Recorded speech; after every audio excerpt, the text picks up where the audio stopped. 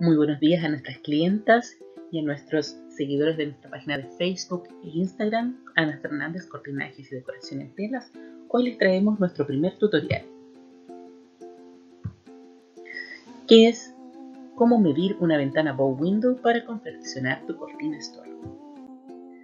Para esto necesitamos una wincha métrica y lápiz y papel para tomar las medidas. Empezamos. Lo primero que vamos a hacer es medir los laterales. ¿ya? Las dos ventanas pequeñas de nuestro bow window. ¿Sí? Medimos primero el alto, luego el ancho. Chequeamos bien de que tomamos bien las medidas. Ya midamos unas dos, tres veces. Luego hacemos lo mismo con el otro lateral el alto por el ancho.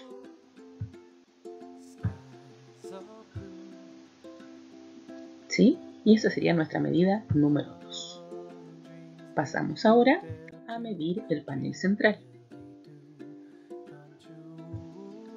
También vamos a medir el alto y el ancho.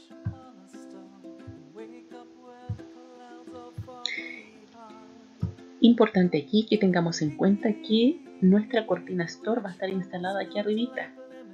¿Ya? Ahí lleva su barra en la que la vamos a instalar. Por lo tanto, también es importante que nos fijemos en el material que tenemos acá arriba. ¿Ya? Porque aquí es donde vamos a poner las barras. ¿Sí? O las maderas, los listones de madera que van atornillados, en este caso van atornillados al cielo raso. Seguimos entonces. ¿Qué hacemos con estas medidas? Ya vamos a calcular los metros cuadrados que tiene nuestra, nuestra ventana. Tomamos entonces el ancho. Necesitamos esta medida, ¿ya? Y el alto, esta medida, ¿sí? Lo multiplicamos y el resultado que nos dé van a ser el total de metros cuadrados que tiene esta sección. ¿Sí? Luego,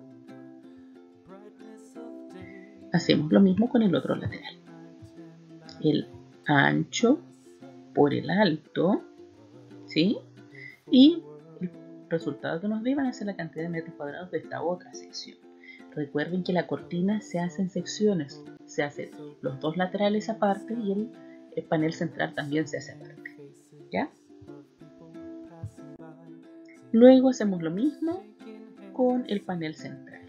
Entonces tomamos el ancho por el alto y el resultado va a ser la cantidad de metros cuadrados de esa sección.